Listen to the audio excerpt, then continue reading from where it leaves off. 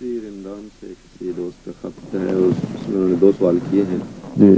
ایک سوال تو یہ ہے کہ کہتے ہیں مسلم ٹیلی ویژن احمدیہ کے پروگرام مسجد میں دیکھنے جائز ہیں کہ نہیں؟ مسجد میں دیکھنے جائز تو ہیں کیونکہ اچھے پروگرام ہیں سب لیکن مسجد کو ان پروگراموں کی آماج کا بنانا جائز نہیں ہے۔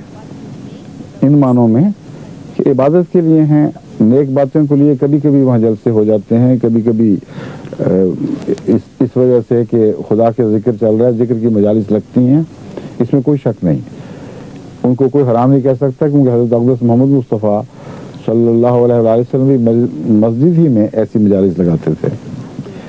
لیکن روزمرہ کا دستور بنا کر مسجدوں کو پروگراموں کی آماج کا بنا لینا یہ میرے نزدیک تو درست نہیں۔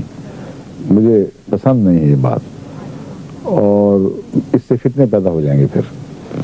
اس لیے اپنی کوئی اور جگہ ڈھونڈیں جہاں یہ پروگرام ہوا کریں۔ خطبہ سننا ہو تو مسجد میں سنیں۔